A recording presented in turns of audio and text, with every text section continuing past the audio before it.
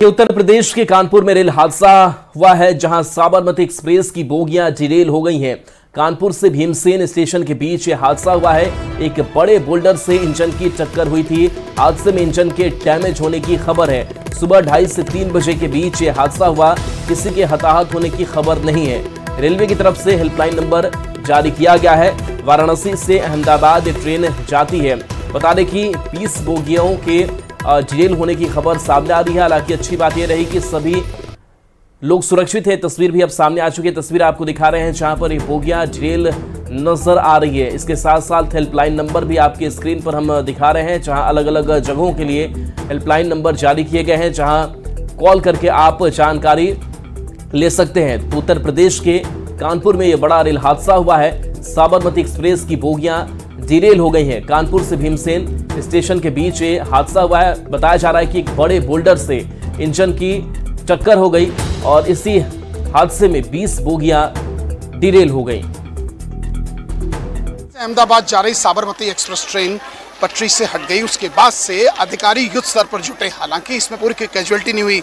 Railway के अधिकारी जहाँ एक और जाँच कर रहे हैं, वहीं प्रशासनिक अधिकारी का और इनके साथ जुड़ा अलमा जुड़ा है कि ताकि लोगों को अपने डेस्टिनेशन पर ए एडीएम सिटी सर हमारे साथ हैं। सर, कैसे देख रहे हो? घटना क्या हुई? पूरे बताएँ सर। देखिए, ये भोर में जो है घटना घटी है। करीब साबरमती एक्सप्रेस के 22 डिब्बे डिरेल हो गए। लेकिन ये अच्छी बात है कि कोई हताहत नहीं हुआ, किसी को कोई इंजरी नहीं हुई, कोई दुर्घटना घटना नहीं हुई। सब सुरक्षित हैं। सभी को जो है यहाँ पे पुलिस प्रशासन के लोग, जिला प्रशासन के लोग, जिलाधिकारी महोदय खुद आए थे। एंबुलेंस, मेडिकल टीम, आरटीओ के द्वारा बसों वगैरह का इंतज़ाम भी किया गया है। आप देख रहे होंगे कि बसें भी खड़ी हैं। लोग बसों से और रेलवे द्वारा जो है मेमो ट्रेन का भी वो किया गया इंतज़ाम, जिससे लोगों को जो है वापस स्टेशन भेजा जा रहा है और यहाँ पे लोगों को खाने पीने सारी इंतज़ाम जो है करा दिया गया था। कहीं कोई दिक्कत नहीं हुई। है सर कोई कैजुअलिटी तो नहीं हुई? कोई इस पूरे मामले में कोई ऐसा दिक्कत तो नहीं है कोई ऐसी सूचना कोई कोई कैजुअलिटी नहीं है कोई कोई कोई किसी कोई घायल भी नहीं हुआ है सब सुरक्षित है।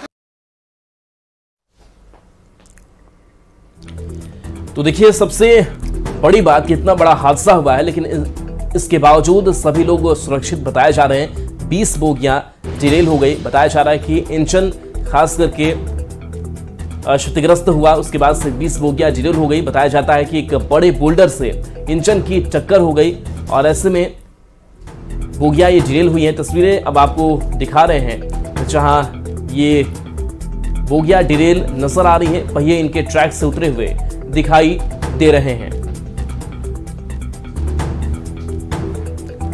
तो कानपुर से भीमसेन के बीच ये बड़ा हादसा हुआ है। बड़े बोल्डर से इंजन की टक्कर हुई थी। 20 बोगिया जिरेल हुई।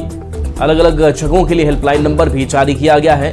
बताया जा रहा है कि इस ट्रैक पर रेलवे के परिचालन में थोड़ा और वक्त लग सकता है। रेलवे के अधिकारी मौके पर मौजूद हैं।